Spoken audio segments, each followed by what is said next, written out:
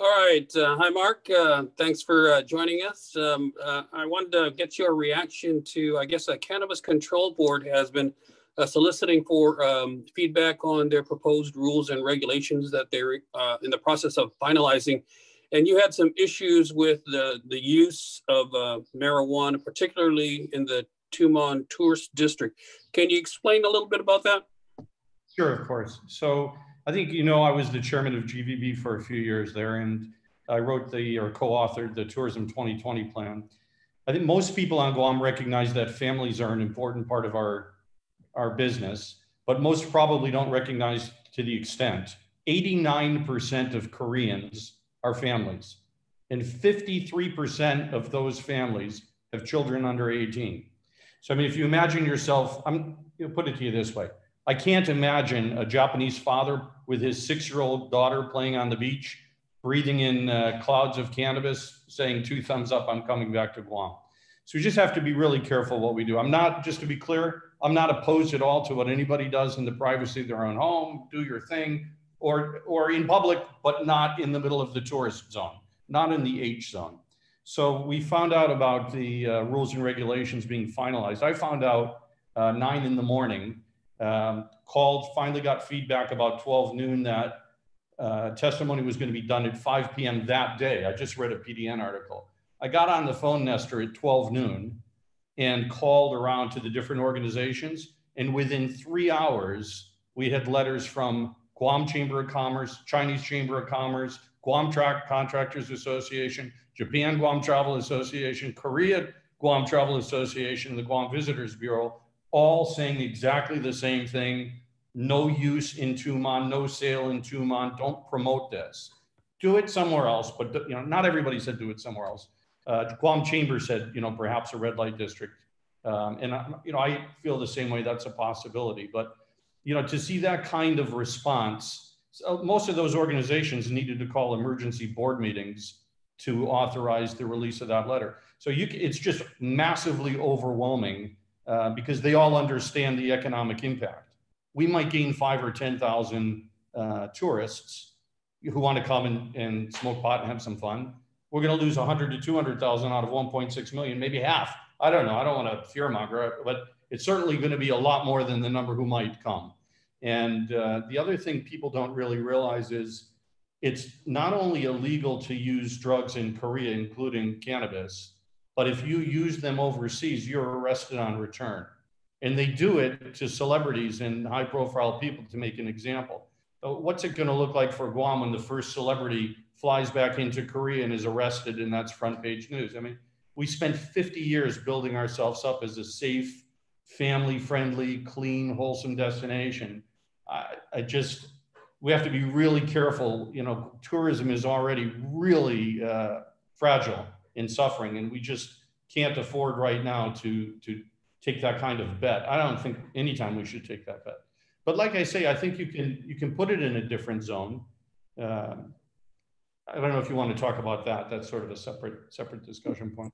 Yeah, I was going to ask you. Yeah, I, I was, uh, so the specific um, issue that you have with it is to prohibit it from uh, being used in uh, Tumon and, and any other hotel um, zone. Is that correct?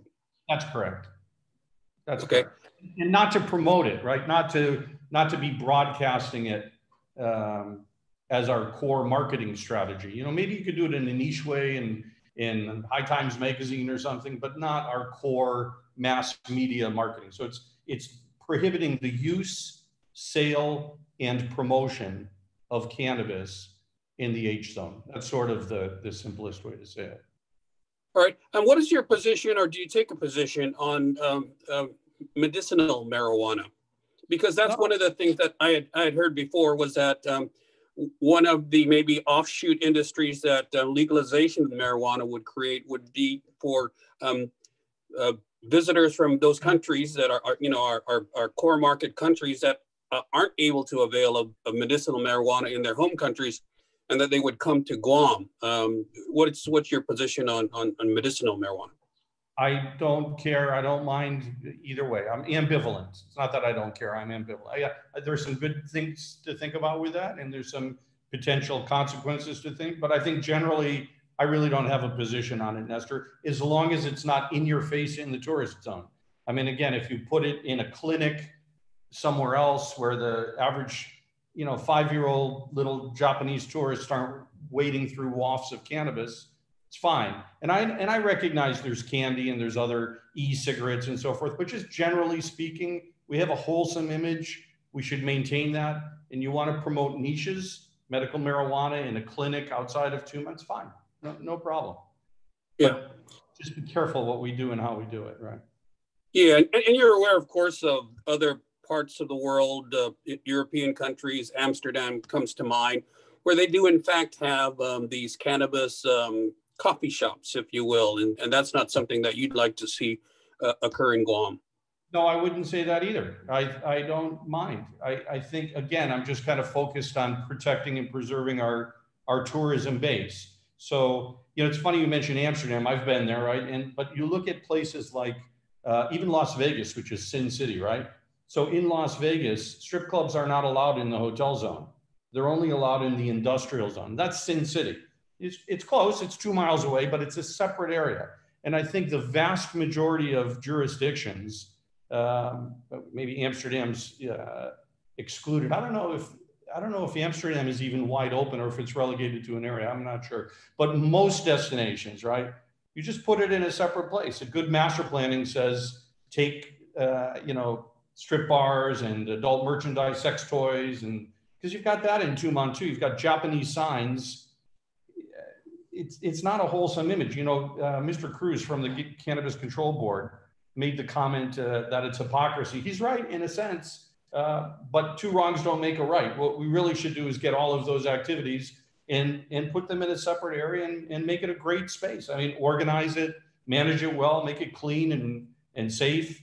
Um, you know, Anigua comes to mind as one possible area for that. For example, uh, you got the the beach side. You've got you know, it'd be a nice revitalization um, or Harmon. You know, if the, uh, you know, in Manila, there are some buildings that have a whole bunch of uh, topless bars in them, right? So it's just a single building with 20 bars inside. So you could do that in Harmon. You could take a 50,000 square foot warehouse and make it hostess bars, massage parlors, strip clubs, uh, adult merchandise, and cannabis cafes. No, no worries, no harm, no foul. And whoever wants to go can go. You can have a little admissions tax that'll pay for the pay for the facility and bid it, bid it out to the highest bidder. If you don't want to have 20 little lousy ones, just have one great big one. You know, that, that's an idea. Or like I say, Anigua is another idea. There are several places you could do this, just not down on the beaches and the streets of Tumon. That's all we're asking. Anywhere but Tumon. And, and when you called around to the various um, uh, like the Korean Tourism Association, the Japanese uh, Tourism Association, um, they all share those uh, those same sentiments. Yeah, more strongly than I even, and in fact, they're sort of not very happy that it's legal in the first place.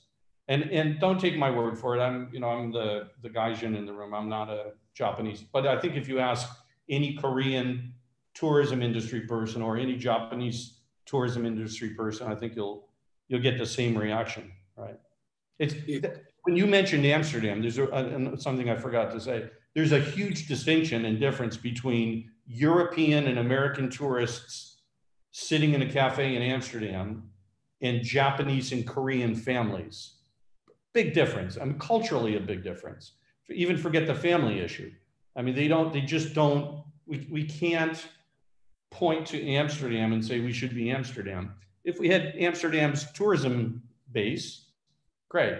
And some people will say, yeah, but if you have it, then you'll attract that base. And like I said, yeah, you'll attract five to 10,000 and you'll lose 300,000. I mean, just, we have to be careful what we do. Yeah, and in addition to the private sector opposition, I understand also that the government uh, agencies such as GVB and GHRA are also uh, in, in, opposition to any uh, use of marijuana in, in Tumon. Yeah, I think the hotel rooms is another issue, right? Because the, the initial draft of the rules from the Cannabis Control Board uh, suggested they defined public place, not smoking in public place. That's the first draft, so that's good.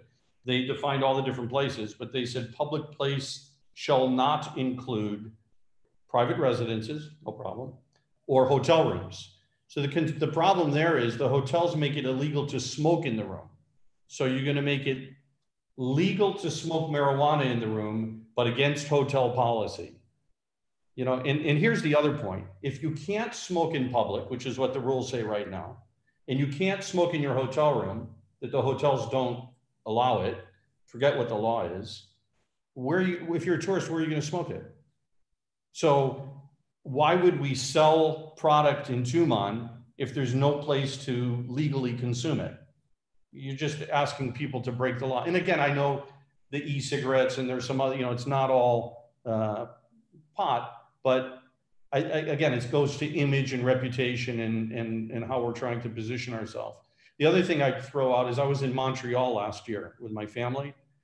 You know, and again, I don't mind, I don't even mind people smoking wherever they want to smoke in Montreal. Doesn't, you know, it, we don't have, they don't, they're not relying on Japanese tourists and Korean tourists. But as a, as a Caucasian who doesn't really, you know, I don't care what people do to, for themselves.